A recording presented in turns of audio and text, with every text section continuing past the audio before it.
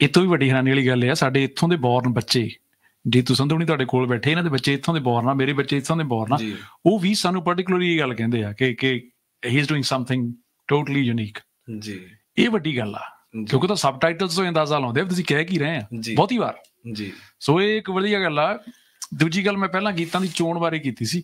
ਸਾਨੂੰ ਥੋੜਾ ਜਿਹਾ ਉਹਦੇ ਬਾਰੇ ਦੱਸੋ ਤਾਂ ਕਿ ਇੱਥੋਂ ਦੇ ਜਿਹੜੇ ਸਰੋਤੇ ਆ ਉਸ ਹਿਸਾਬ ਨਾਲ ਥੋੜਾ ਜਿਹਾ ਤਿਆਰ ਹੋ ਕੇ ਆਉਣ ਵੀ ਭਾਈ ਅੱਜ ਸਾਡੇ ਕੰਨਾਂ 'ਚ ਕਿਹੜੇ ਮਿੱਠੇ ਬੋਲ ਗੂੰਜਣੇ ਆ ਨਹੀਂ ਬਿਲਕੁਲ ਜੀ ਜਦੋਂ ਵੀ ਅਹ, ਕਿਉਂਕਿ ਹੁਣ ਪੰਜਾਬੀ 뮤직 ਸਿਰਫ ਪੰਜਾਬ ਤੱਕ ਸੀਮਿਤ ਨਹੀਂ ਰਿਹਾ ਬਿਲਕੁਲ ਸਹੀ ਕਿਉਂਕਿ ਪੰਜਾਬੀ ਸਿਰਫ ਪੰਜਾਬ ਤੱਕ ਸੀਮਿਤ ਨਹੀਂ ਰਹੇ ਕਿਆ ਤਾਂ ਬਾਤ ਜਦ ਵੀ ਗਾਣੇ ਆਉਂਦੇ ਆ ਜਾਂ ਫਿਲਮਾਂ ਆਉਂਦੀਆਂ ਤਾਂ ਸਾਨੂੰ ਅਸੀਂ ਬਖੂਬੀ ਖਿਆਲ ਰੱਖਦੇ ਆ ਕਿ ਜਿਹੜਾ ਲੈਵਲ ਆਫ 뮤직 ਆ ਕਿਉਂਕਿ ਇੱਧਰ ਦੇ ਬੱਚੇ ਜਿਹੜੇ ਬੌਰਨ ਆ ਉਹ ਹੁਣ ਗੋਰਿਆਂ ਨੂੰ ਵੀ ਸੁਣਦੇ ਆ ਉਹ ਹਿਪ ਹੌਪ ਵੀ ਸੁਣਦੇ ਆ ਸਪੈਨਿਸ਼ ਵੀ ਸੁਣਦੇ ਆ ਹਾਂ ਉਹ ਸਾਨੂੰ ਸਾਰਿਆਂ ਨਾਲ ਸਾਨੂੰ ਵੀ ਹੁੰਦਾ ਹੈ ਕਿ ਯਾਰ ਜਿਆਦੇ ਸਾਡੇ 뮤직 ਸੁਣਨ ਜਾਂ ਸਾਡਾ ਸ਼ੋਅ ਦੇਖਣ ਤਾਂ ਇਹਨਾਂ ਨੂੰ ਐ ਕੁਝ ਵੀ ਐ ਨਾ ਲੱਗੇ ਕਿ ਯਾਰ ਵੀ ਇਹਨਾਂ ਨੂੰ ਵੀ ਪ੍ਰਾਊਡ ਹੋਵੇ ਕਿਆ ਬਾਤ ਆ। ਕਿ ਯਾਰ ਹਾਂ ਸਾਡਾ ਸ਼ੋਅ ਹੈ ਸਾਡੇ ਆਰਟਿਸਟ ਨੂੰ ਦੇਖਣ ਆਏ ਅਸੀਂ।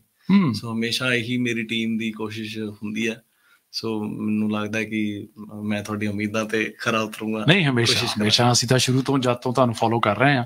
ਜਦੋਂ ਰਿਐਲਿਟੀ ਸ਼ੋਅ ਦੇ ਵਿੱਚ ਤੁਹਾਡੀ ਐਂਟਰੀ ਹੁੰਦੀ ਆ ਤੇ ਜਦੋਂ ਤੁਸੀਂ ਅੱਗੇ ਤੱਕ ਨਹੀਂ ਵੀ ਗਏ ਤਾਂ ਵੀ ਉਦੋਂ ਵੀ ਬਹੁਤ ਲੋਕਾਂ ਨੇ ਤਾਰੀਫ ਕੀਤੀ ਹੋਣੀ। ਤੁਹਾਡੇ ਤੱਕ ਹੁਣ ਤੱਕ ਵੀ ਸੁਨੇਹੇ ਆਉਂਦੇ ਹੋਣੇ। ਹਾਂਜੀ ਹਾਂਜੀ ਇਹਦੇ 'ਚ ਕੋਈ ਸ਼ੱਕ ਨਹੀਂ। ਨਹੀਂ ਨਹੀਂ ਬਿਲਕੁਲ ਜੀ। ਅਸਲ ਜਿਹੜਾ ਟੈਲੈਂਟ ਆ ਉਹ ਤਾਂ ਸੱਤ ਪਰਦੇ ਪਾੜ ਕੇ ਮੁਰੇ ਆ ਜਾਂਦਾ ਇਹ 'ਚ ਕੋਈ ਸ਼ੱਕ ਨਹੀਂ। ਕੁਝ ਕਈ ਵਾਰੀ ਹੁੰਦਾ ਹੈ ਕਿ ਕੋਈ ਦਿਨ ਤੁਹਾਡੇ ਨਾਲ ਨਹੀਂ ਹੁੰਦਾ ਬਿਲਕੁਲ ਸਹੀ। ਔਰ ਮੈਨੂੰ ਲੱਗਦਾ ਹੈ ਕਿ ਸਗੋਂ ਹਾਰ ਕੇ ਬੰਦਾ ਜ਼ਿਆਦਾ ਸਿੱਖਦਾ ਹੈ। ਕੀ ਬਾਤ ਆ। ਤੇ ਬਹੁਤ ਵਾਰ ਐ ਹੋਇਆ ਲਾਈਫ 'ਚ ਮੇਰੇ ਨਾਲ ਕਿ ਕਦੇ। ਲੱਗਿਆ ਕਿ ਸਿਲੈਕਟ ਨਹੀਂ ਹੋਇਆ ਜਾਂ ਕੁਆਟਰ ਫਾਈਨਲ ਤੱਕ ਪਹੁੰਚ ਗਿਆ। ਬਿਲਕੁਲ ਬਿਲਕੁਲ। ਪਰ ਉਹਨੇ ਫਾਈਨਲ ਤੋਂ ਜ਼ਿਆਦਾ ਜਿੱਤਿਆਂ ਤੋਂ ਜ਼ਿਆਦਾ ਸਿਖਾਇਆ ਮੈਨੂੰ। ਹਾਂ ਲੋਕਾਂ ਦੇ ਦਿਲ ਜਿੱਤੇ ਤੁਸੀਂ। ਹਾਂ, ਹਾਂਜੀ ਸੋ। ਇਹ ਜਿਹੜਾ ਅਦਾਬ ਆ ਤੁਹਾਡੀ ਸ਼ਖਸੀਅਤ ਦੇ ਅੰਦਰ ਤੁਸੀਂ ਖੁਦ ਵੀ ਇਸ਼ਾਰਾ ਕੀਤਾ ਤੁਹਾਡੇ ਪਰਮ ਸਤਿਕਾਰਯੋਗ ਮਾਤਾ ਪਿਤਾ ਤੋਂ ਆਇਆ।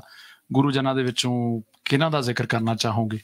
ਮੈਂ ਜੀ ਮ- ਮੈਂ ਬੜਾ ਲੱਕੀ ਹਾਂ ਕਿ ਮੈਂ ਬਹੁਤ ਸਾਰੇ ਗੁਰੂ ਜਨਾਂ ਦੇ ਨਾਲ ਜੁੜਦਾ ਰਿਹਾ ਹਮੇਸ਼ਾ। ਜੀ। ਤੇ ਸਭ ਤੋਂ ਪਹਿਲਾਂ ਤਾਂ ਮੇਰੇ ਗੁਰੂ ਮੇਰੇ ਦਾਦਾ ਜੀ ਬਾਤ ਆ। ਜੋਗਿੰਦਰ ਸਿੰਘ ਪਹਿਲਵਾਨ ਤੇ ਉਹਨਾਂ ਨੇ ਪਹਿਲਾ 뮤직 ਮੈਨੂੰ ਉਹਨਾਂ ਨੇ ਸਿਖਾਇਆ। ਅੱਛਾ। ਉਸ ਤੋਂ ਬਾਅਦ ਇਹ ਬਹੁਤ ਵੱਡੀ ਗੱਲ ਆ ਵੈਸੇ।